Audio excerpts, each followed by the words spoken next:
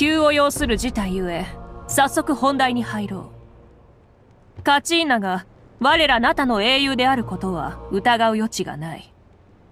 今回起きたことについては心より詫びよう。八神の国で原因不明の騒動が起きカチーナの行方がわからなくなった。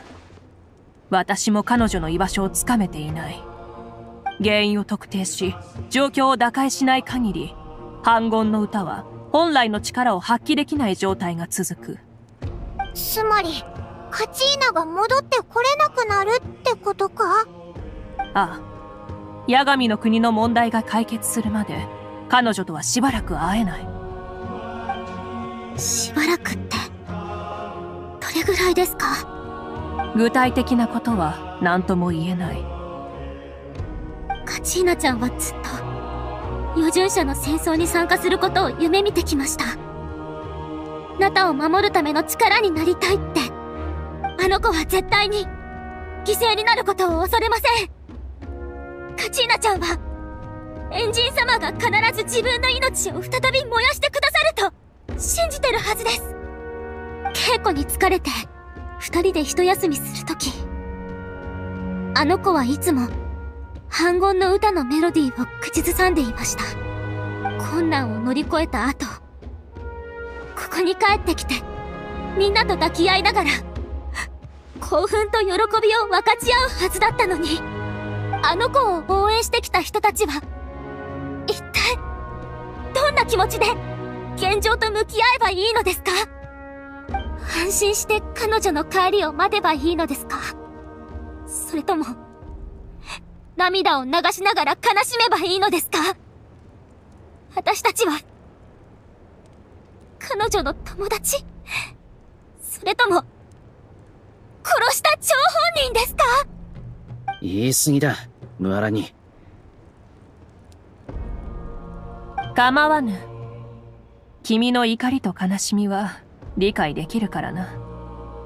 私は決してカチーナの生死を軽んじているわけではない。ムアラにできれば私もいち早くカチーナを連れ戻し君や彼女の安否を心配する人々を安心させたい。今直面している難題を詳しく説明しよう。もう少し耳を傾けてくれないか？先日流戦の衆が襲撃された件と照らし合わせて考えるにおそらくアビスはナタのルールを乱す新たな方法を見つけたのだろう。ルールを乱す。周知の通り成果はナタがアビスに抗するための根幹だ。もし引き続き帰化聖夜の巡礼を開催し余順者の戦争を行えば新たな犠牲者が出るかもしれない。しかしこのまま取りやめれば成果の力が次第に弱まり各地にアビスが溢れてしまう。そうなれば今後流戦の衆のような災難が幾度も起こるだろう。両者を比較すると後者の方がより危険ですね。悪い。こんな無情な話はしたくないがマリポのキーニチとして代償を図るのは俺の責務だ。事実の残酷さを十分に理解してこそ怒りに駆られず冷静に現実を見つめることができる。だがこたびの災難の当事者であるムアラニにとってキーニチのようにどちらの苦しみがより重いかを判断するのは難しいだろう。はい。私には分かりませんし。分かりたくもありません。苦しみの重さを比べること自体被害者に対して失礼だと思います。なら私が帰化聖夜の巡礼を中止にしようがしまいが君の苦しみは変わらないそうだな。はい。カチーナちゃんのことは心配でなりませんが。だからといって他の人を犠牲にしたくはありません。問題の核心はそこだ。単純な比較や選択に頼ってもこの問題は解決できない。私がどの選択をしようとそれぞれ犠牲者が出る。ただいずれにせよナタ人は非化聖夜の巡礼に疑惑の念を持つようになるだろう。そのような疑惑が浮かび上がれば団結してアビスに立ち向かっていた人々の心は離れアビスの目論みは成就する。あの者らの最終的な狙いは反言の歌に関するルールを乱すことだけでなく人々が持つルールへの信用を瓦解させること。故にカチーナのような二人目の犠牲者を出さずかつ各部族の守衛の力を強化する策を講じたいと考えている。その上で成果を盛り返す方法を模索しアビスを阻止する。無論これは容易ではない。少し時間が必要だ。ここまでの話で君の怒りは少し収まったかな？エンジンがここまで丁寧に説明してくれるなんてもっとバチバチの展開になるかと思ったぜ。先ほどは感情的になってしまい申し訳ありませんでした。おっしゃる通りまず問題を解決する方法を考えるべきですね。成果の力を維持することが問題なら余順者の戦争だけを一時中止にするのはどうでしょうか？それも考えたが長きにわたり両者は切っても切れない関係にある。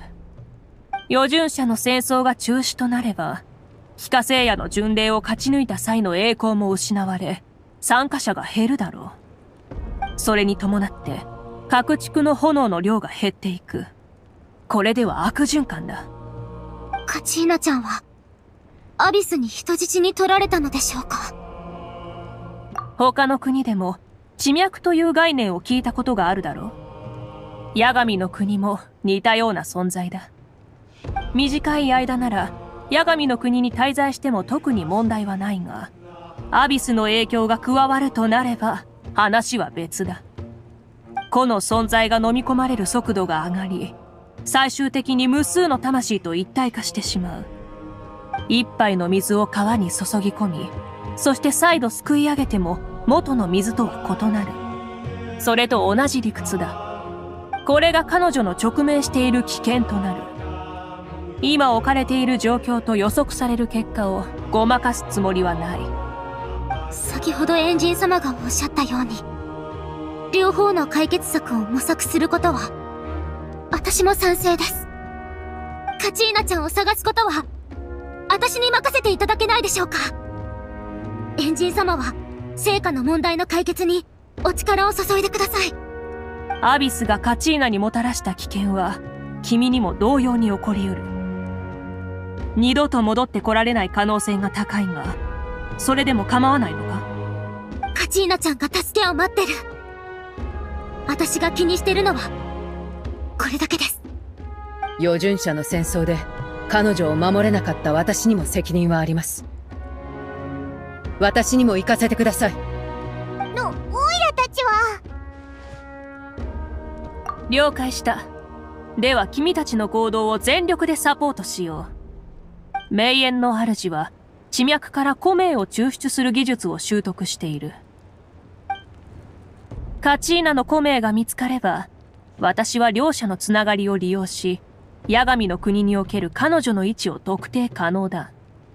そしてその次が最も困難なのだが君たちに八神の国に向かってもらい彼女を連れ戻してもらう。そこって魂の国なんだよな。オイラたちも行けるのか？通常ならそこに入れるのは私たちの意識のみだが人をそのまま送る方法もある。だが八神の国による拒絶に加えアビスの力による侵食にも耐えなければならない。私は構いません。私もですアビスの力と戦うことにはとっくに慣れていますので。ええビビってるのってオイラだけか？しょうがない。こいつが行くならオイラもついてくぞ。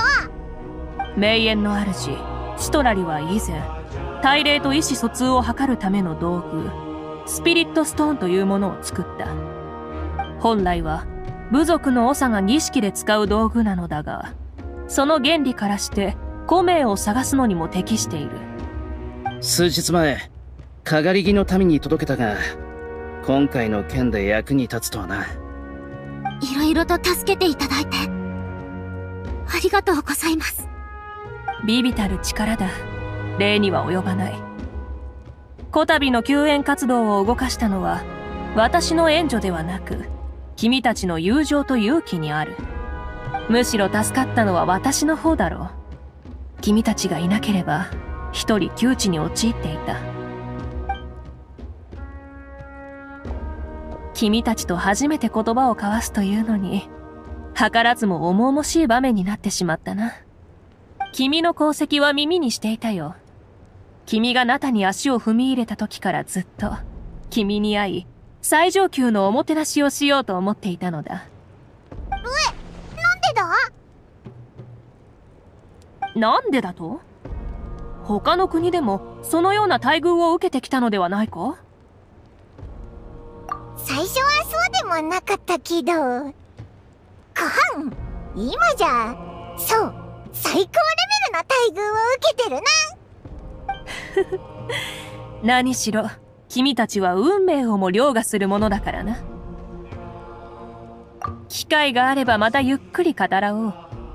君が思っているより、私は多くのことを知っているかもしれないぞ。緊急事態でさえなければ、今宵は杯を交わし、楽団のステージを見るのにぴったりだったんだがな。あ、そうだ。エンジン様。アテアおばさんからこれを渡すようにと預かったんです。先日のアビスの襲撃で、おばさん、怪我を負ってしまって、この中には、私の思いと意志が宿ることでしょうと、エンジン様に伝えればきっと分かってくれると。この日がこうも早く訪れるとは。彼女の命を象徴する炎が、お守りの中に流れているのが、はっきりと感じ取れる。だが、流泉の州の温泉で直接手渡ししてほしかったな。私は彼女の戦友なのだから。安心してくれ。これは私にとって大切なものだ。大事に預かると約束する。ことが一段落したら彼女に会いに行こう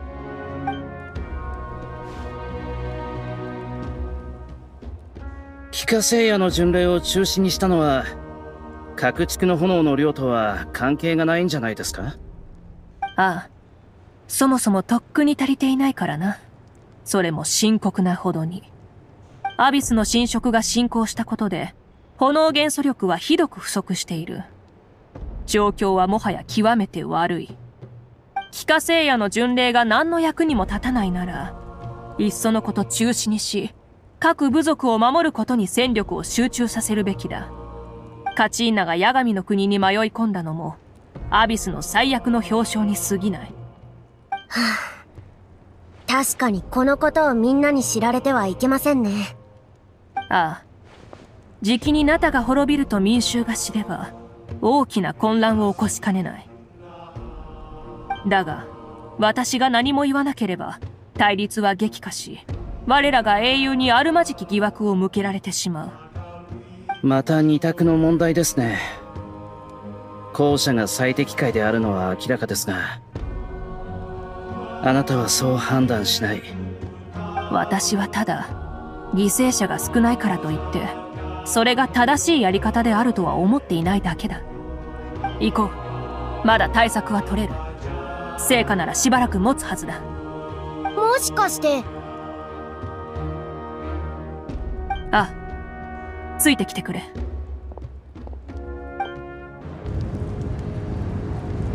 成果はアビスの恐れるものであり、ナタの安寧を維持する根幹だ。決して消えてはならない。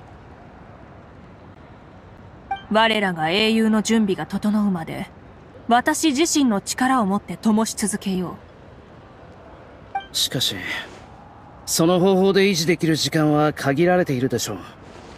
残りの古名の継承者の方に力を注ぐべきだと思いますが。気をせいて、本末転倒になってはならない。大礼に選ばれし者は、すでに運命に定められた冒険の道を歩み始めた。その結末を描くのは本人たちであり、我々ではない。我々にできるのは、その者たちを支援することのみ。だとしても、エンジン様自ら犠牲になるのは、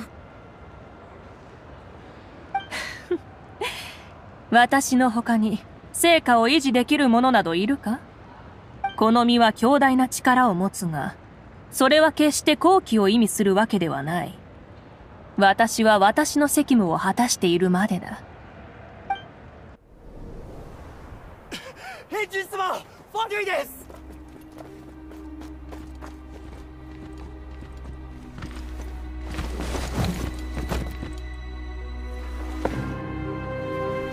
さすがはナタの神。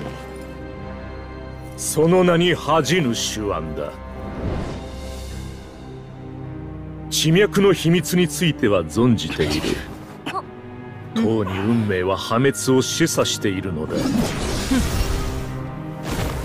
なのに500年前の約束は未だ果たされていない。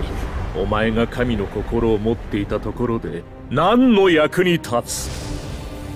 その口ぶり。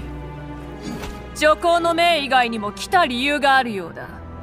気球の時には誰かが旧姓の責務を果たさねばならない。お前の計画が滞っているなら俺がナタのために新たなルールを作ろう。だが神聖の前には破滅が必要だ。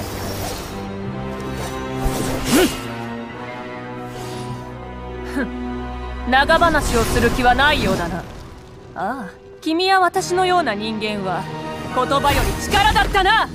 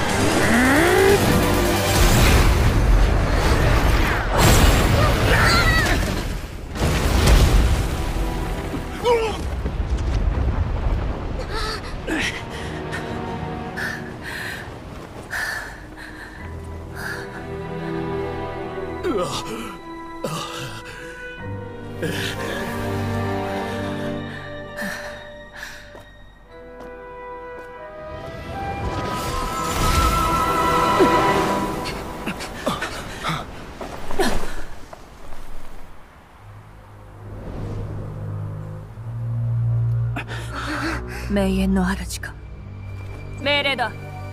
隊長とその幇助者を全て見つけよ。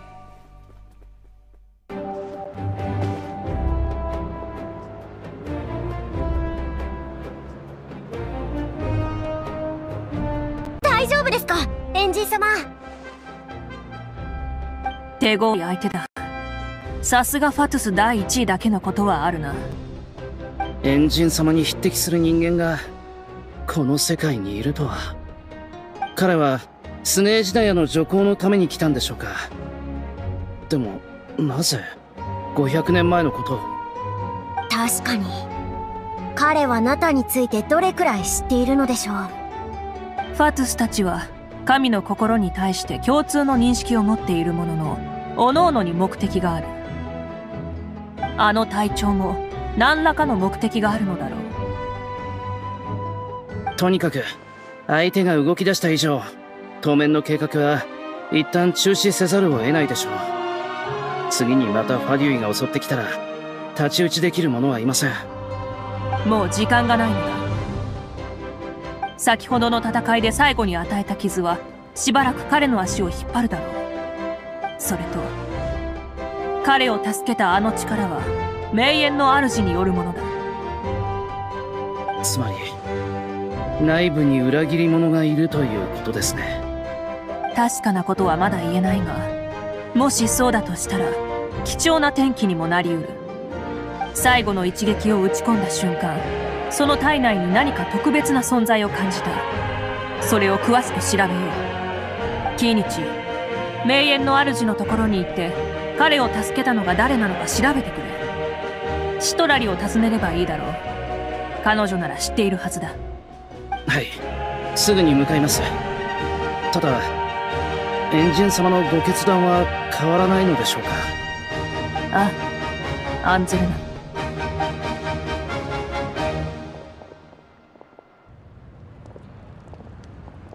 この土地を守っているのは神だけではない。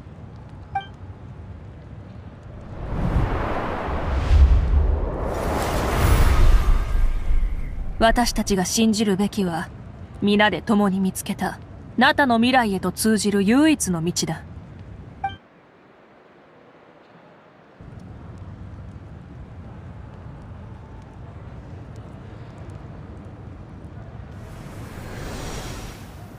エンジン様大丈夫ですか？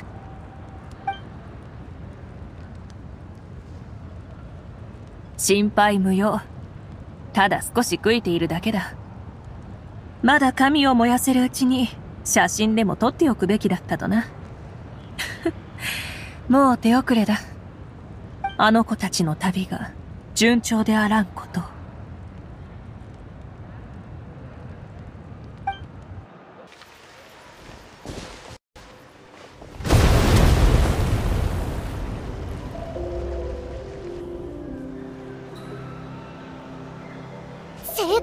場がすごいことになってるぞ。爆発でも起きたのか？どうやらエンジン様が手を下されたみたいだ。相手もかなりの強者だったと伺える。どうすればいいんだ？今から戻るか？エンジン様を信じよう。正面対決であの方が負けるとは到底想像できない。こっちの剣を片付けたらすぐに戻ろうそうだな。じゃあ引き続き登るか。これ以上トラブル来らないといいんだけど。